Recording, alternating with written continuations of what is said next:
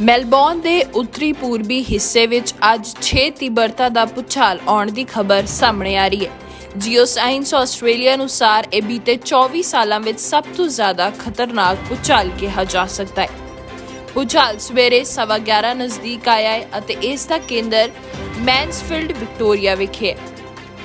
ਭੂਚਾਲ 20 ਤੋਂ 30 ਸੈਕਿੰਡ ਤੱਕ ਬਰਕਰਾਰ ਰਿਹਾ ਅਤੇ ਇਸ ਨੂੰ 15000 ਲੋਕਾਂ ਨੇ ਸੋਸ਼ਲ ਮੀਡੀਆ ਤੇ ਮਹਿਸੂਸ ਕੀਤੇ ਜਾਣ ਦੀ ਪੁਸ਼ਟੀ ਕੀਤੀ ਹੈ।